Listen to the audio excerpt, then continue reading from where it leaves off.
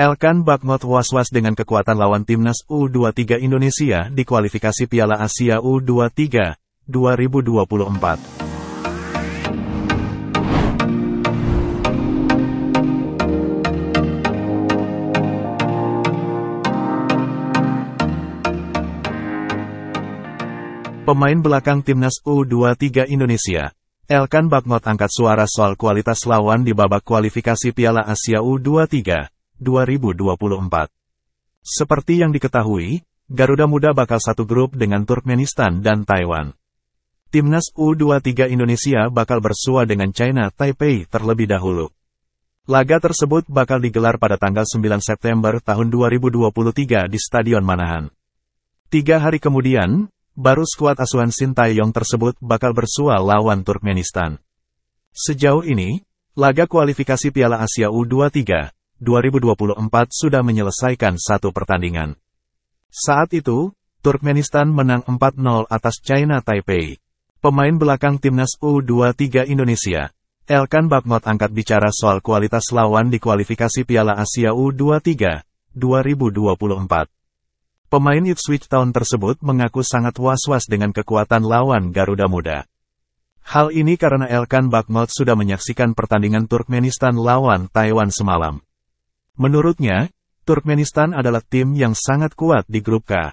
Pada laga kemarin malam, Turkmenistan adalah tim yang sangat kuat, ujar Elkan Bakmot usai sesi latihan di Stadion Sriwedari pada Kamis, tanggal 7 September tahun 2023. Meski begitu, ia juga tetap mewaspadai Taiwan sebagai lawan perdana timnas U23 Indonesia.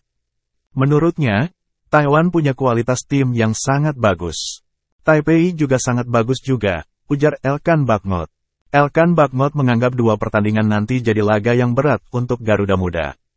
Jadi, kedua tim bakal jadi pertandingan yang berat, kata Elkan Bakmot.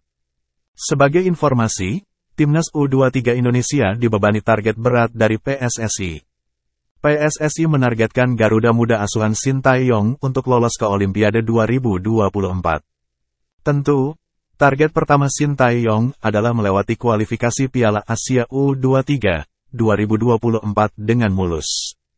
Karena kualifikasi Piala Asia U23 2024 adalah pintu pertama menuju Olimpiade 2024.